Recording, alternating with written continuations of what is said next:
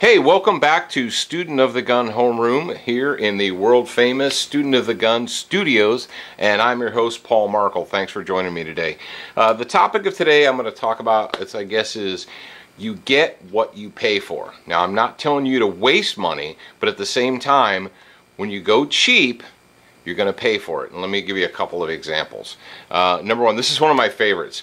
Guys that go out and they'll buy, um, they'll spend 800 900 1000 $1,200 on a gun, on a pistol. They'll get a custom whatever.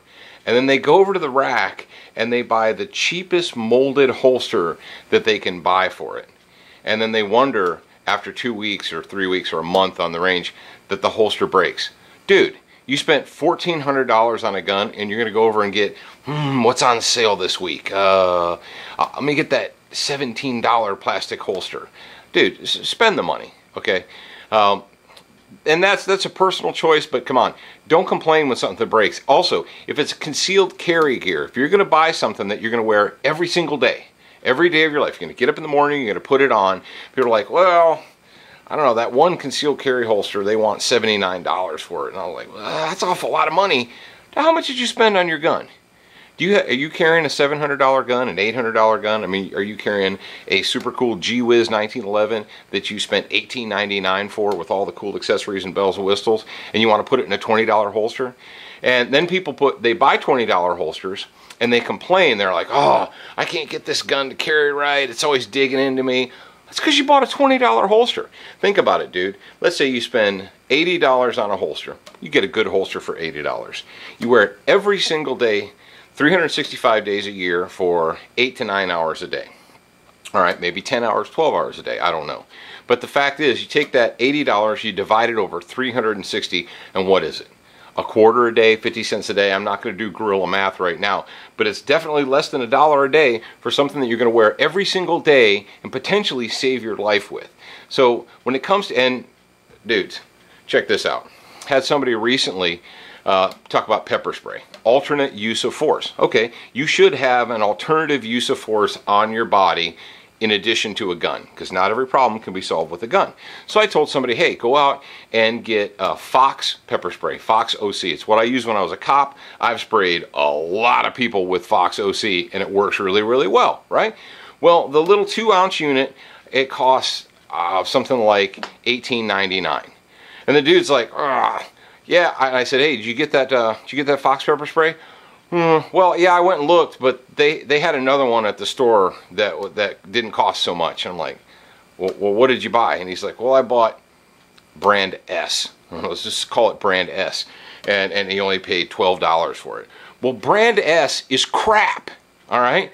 So this dude just saved himself six or seven dollars on pepper spray, and he's got what he's got now is crap versus what I told him was really good.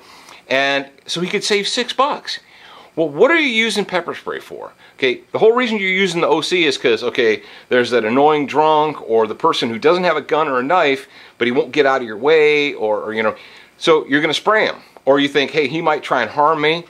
Well, dude, if I told you, hey, I'll stop that guy from punching you in the face if you give me $18.99, would you give me the $18.99 or oh, I'm, I won't give you $18.99 to stop that guy from punching me in the face. Come on, kids.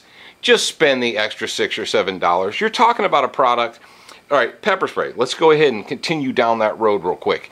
OC spray. Let's say let's round number it 20 bucks. You spend $20 on a quality a quality pepper spray product, OC product. Okay, you carry that on you, and instead of whipping out your gun to shoot the aggressive dog that's bothering you, to shoot the aggressive drunk that won't leave you alone, um, the guy who wants to, uh, you know, rough up your, your wife or your kids or something like that. Okay, say roughing up your wife, you're probably going to shoot him. But the point is, instead of using your gun to do that, you defuse the situation. You use your pepper spray instead. You don't have to use your gun. Brother, if you pull your gun out of your holster and you shoot somebody with it, it's going to cost you a lot more than 20 bucks in attorney fees and insurance and so forth to get your butt out of it and to portray yourself as the good guy. So, Lord in heaven, spend the freaking money on quality gear. All right? Enough said. So, don't go cheap. I'm not telling you to waste money, but when it comes time to save your own life, to protect your own life and the life of your family, spend the freaking money. I bet you got a $500 iPhone in your pocket, don't you? Or a plasma screen TV or any. You're like, oh, you know, it's easy for you to say. It's like, well, first of all, I'm not a millionaire, but second of all, spend the money on what's important. Everybody's got priorities, and the fact is, maybe you think, ah owning a gun, owning pepper spray, owning all that stuff, that's not really that important. What's more important to me is a six pack and a plasma screen TV. Hey, rock on, be honest with yourself, but don't buy cheap garbage and then wonder why it doesn't work for you. All right, until next time, this is Paul Markel, your favorite professor, and what are you going to do for more Student of the Gun? You're going to go to studentofthegun.com.